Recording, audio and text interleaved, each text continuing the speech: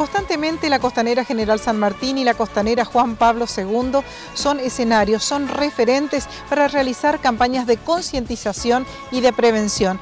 Esta es una de ellas.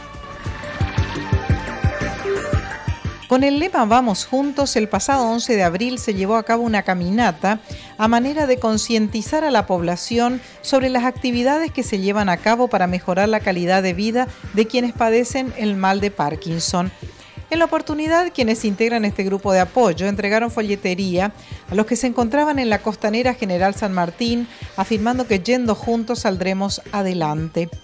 El grupo multidisciplinario integrado por médicos, operadores en psicología social, contadores, profesores de educación física, instructores de yoga y reikistas, entre otros, se reúne los días lunes, miércoles y viernes por la tarde en la sede de Amugenal apoyando desde sus perspectivas a quienes sufren esta patología, buscando mejoras posibles.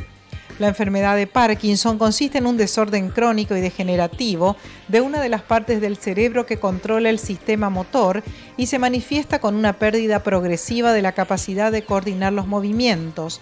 Se produce cuando las células nerviosas de la sustancia negra del mesencéfalo, área cerebral que controla el movimiento, mueren o sufren algún deterioro. Presenta varias características particulares, temblor de reposo, lentitud en la iniciación de movimientos y rigidez muscular.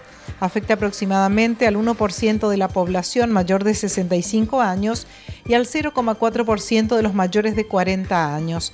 Es una patología que por el momento no tiene curación, pero afortunadamente existen grupos profesionales de apoyo que los contienen de la mejor manera posible.